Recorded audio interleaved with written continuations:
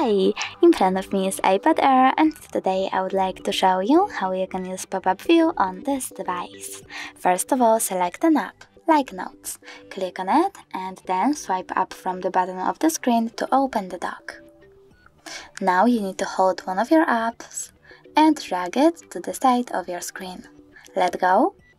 And as you can see, now I can use both of my apps at the same time like that. If you wish to go back, just click home button.